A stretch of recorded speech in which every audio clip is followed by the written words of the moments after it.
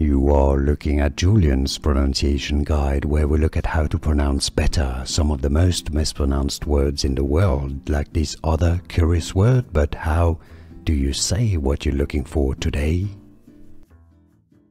The name of this French philosopher um, that is often quoted um, along with Karl Marx, but anyhow, in French it is said as Louis Louis, yes, the S is silent, so it's not Louis, but in French, Louis Althusser is how it's said in French. Okay, so let's break it down. Al, tu, uh, the H doesn't do anything here in French, it's silent, so it's not like TH. The U sound is U in French, okay? You could replace it with an U sound because the U doesn't exist in English, that same sound. And then ser, okay? So Althusser in English, if you cannot pronounce French perfectly, you could say it as Louis Althusser. Althusser.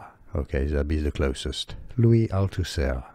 And now, you know. Here are more videos on how to pronounce more confusing words and names too many mispronounced. Like this video if you found it useful, I appreciate your support. I'll see you soon and thanks for watching.